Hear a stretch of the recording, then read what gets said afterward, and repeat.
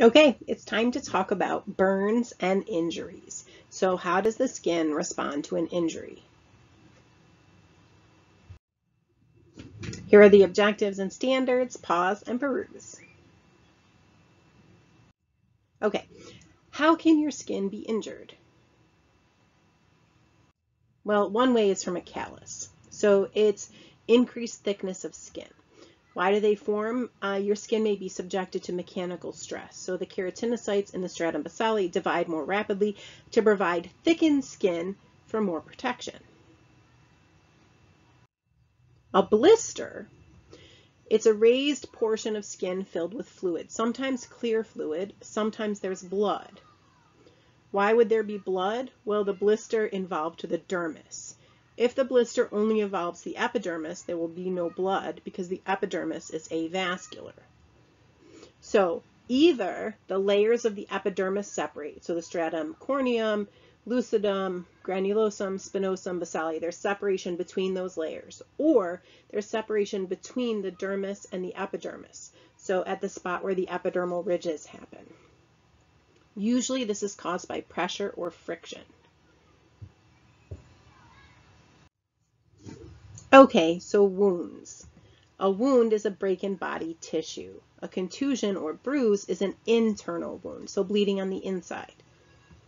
The speed and the effectiveness of the skin repair depends on the type of wound. So we're going to cover five main types of wounds, incisions, abrasions, punctures, avulsions, and lacerations. Ready to get started? Okay, so what type of skin injury results when layers of the epidermis separate? Do you remember? That's a blister. Okay, so let's get to the wounds. An incision. It's caused by a cut from a sharp edge. So a surgeon could do an incision before performing surgery, but you could also get an incision when you're like chopping potatoes. The bleeding is usually rapid and heavy. Note, with deep incisions, muscles, tendons, nerves, they can all be damaged, which becomes more serious. Abrasions. So it's caused by rubbing or scraping against a hard, rough surface. So if you fall off your bike, as an example. The bleeding is usually limited. That doesn't mean it doesn't bleed, but it doesn't usually bleed as heavily. A note, you must clean an abrasion well because it often can have dirt embedded in there and uh, you want to prevent infection. So you want to get the dirt, any germs out, and a lot of times that cleaning is painful. Puncture. All right, so it's caused by a pointed object that's piercing a small hole in the skin the bleeding can have light external bleeding, but there can be more serious internal bleeding that you may or may not be aware of. Note, this type of wound has the danger of getting an infection because again, um, depending on how deep it is, it could have um, spread bacteria further into the body. And also tetanus is a severe risk, and we will talk about that later. Avulsion. So it's caused by accidents like explosions and animal bites that literally tear away tissue. It can result in complete amputation. So a finger could be blown off, an entire hand could be blown off, okay? Avulsion. Or it could just be a bunch of the tissue. The bleeding here, again, is going to be heavy and rapid. Body parts that are torn away should be kept cold and moist um, and get to you know an emergency room as quickly as possible to be able to reattach them. And then laceration. Laceration is most similar to an incision, but it can be caused by various objects that result in a jagged, irregular wound, so not a nice, neat cut. So it could be from a serrated knife, as an example. The bleeding, again, can be rapid and extensive, especially because sometimes it's harder to close that type of wound. It can lead to more noticeable scar because uh, the edges aren't smooth and don't line up as nicely. All right, what type of wound is at a greater risk for tetanus? Do you remember? That's a puncture wound. When skin or tissue is torn away, it is this type of wound. Avulsion. When skin is rubbed or scraped against a rough surface, it is this type of wound. Abrasion.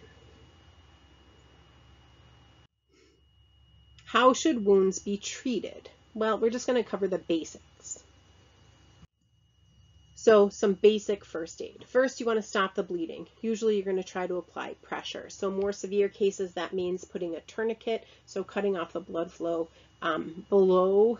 Um, so you're going to tie the tourniquet above the wound, so to cut off blood flow below that, um, so that it does stop the bleeding. You want to clean the wound for sure. Remember with abrasions, that can be a big um, problem, and with puncture wounds. You're going to want to close the wound. So sometimes you might need stitches or sutures. They can use skin glue, which is called Dermabond. They can use staples. Sometimes in surgery, doctors will use staples. Um, and they can use strips, okay? All of those serve the purpose of closing the wound, to hold the edges close together so the skin can heal, heal properly. And you want to protect the wound. So use dressings, bandages, clean, sterile, change them often. What is one way to treat wounds? Okay, so stopping the bleeding, cleaning it, closing the wound, protecting the wound. How is skin repaired? And we did talk about this before, but let's talk about it again. So how is skin repaired? So we have inflammation, right? There's inflammation and regeneration, and they're kind of occurring at the same time, right? But inflammation, the signs and symptoms of inflammation are swelling, warmth, redness, pain. Remember, signs are things that are objective, that can be noticed by a physician or someone treating you. Symptoms are things that are more subjective. So like, what's your pain scale? Okay. Um, and inflammation results in increased blood flow, diffusion, attraction of white blood cells, um, and it helps begin the process of healing. And then the next stage is regeneration. But again, they can be intermingled. Okay, so in the process of wound healing, you're going to have bleeding and clot formation. So you need to stop the bleeding. Okay, a clot is going to form. And then the inflammatory response is going to happen. We're going to get a scab form. The white blood cells are going to be removing debris. There's going to be clotting around the edges of the wound to kind of isolate the area. So anything bad that might be in that wound is not going to spread around your body. And then there's going to be rebuilding. So collagen is going to be used as a scaffold to rebuild. So imagine, you know, when somebody is like redoing the siding on a house, you might see a scaffolding built. Collagen is used like that. So we can like lay a framework and then rebuild. And then maturation is going to be strengthening, returning it to its original functioning.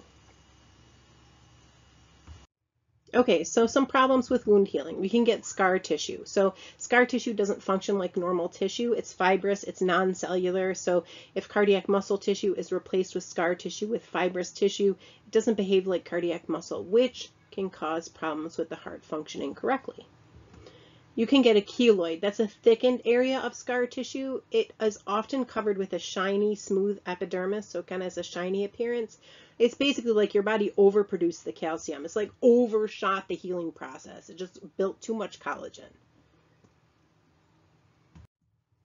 What else? We can get infections. So general signs of infection are it's red, it's swollen, it's painful. You can see pus, okay? Cellulitis is going to be an inflammation of skin, and sometimes it occurs somewhere where the wound wasn't. So you injured your hand, but you have cellulitis in your leg. Gangrene can result in decay or death of the tissue, and the tissue starts to get bluish, greenish, even black in color as it dies. Necrotizing fasciitis, that's a severe infection, flesh-eating bacteria, and what has to happen in that case is they literally have to scoop out all the affected tissue. So this can result in severe scarring or amputation. Same with gangrene can also result in amputation. And then tetanus, also called lockjaw. It results in painful muscle spasms and eventually can lead to death. There is a vaccine against tetanus. And um, I get my tetanus vaccine every 10 years. There's some soreness at the injection site for a few days, but better than dying. All right, what is one possible complication of wound healing? There were a lot, so just think of one. We have infections, scars, keloids, cellulitis, gangrene, necrotizing fasciitis, tetanus. Lots of options. None are good. With infections, uh, they can be treated with antibiotics. Okay. Now let's look at burns. Okay, burns. What causes burns? Heat, radiation, electric shock, strong chemicals. The severity of the burn depends on the depth of penetration and the total area affected. So even though you may have a mild burn, but it may cover more of your surface of your skin, it can still be problematic. And the risks associated with burns are infection and dehydration, both tied to the fact that skin provides waterproof protection. Remove the waterproof protection, we can get infection and dehydration. Okay, first degree burn. So what is killed are the superficial cells of the epidermis, so those upper layers. Injured, we have the deeper layers of the epidermis and maybe the papillary dermis, which is the most superficial layer of the dermis. There may be damage there. The appearance, it's inflamed, it's tender, it's red. No blisters. Okay, second degree burn. It's killed all of the epidermis, possibly the dermis, what is injured is the injury may extend into the reticular dermis, so it may extend far into the um, deeper layers of the dermis. The appearance and sensation in this case, there are blisters and it's very painful. So first degree, no blisters, second degree, blisters.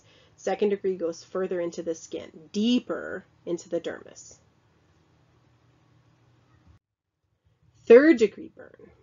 It's killed all of the epidermis, all of the dermis, and the injury has probably extended into the hypodermis, potentially into deeper tissues and organs.